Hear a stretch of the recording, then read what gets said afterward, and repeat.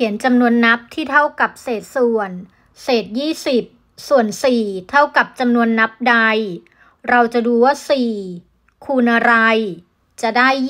20 4 คูณ 1 เป็น 4 4 คูณ 2 เป็น 8 4 คูณ 3 เป็น 12 4 คูณ 4 เป็น 16 4 คูณ 5 เป็น 20 4 คูณ 5 เป็น 20 เศษ 20 ส่วน 4 เท่ากับ 5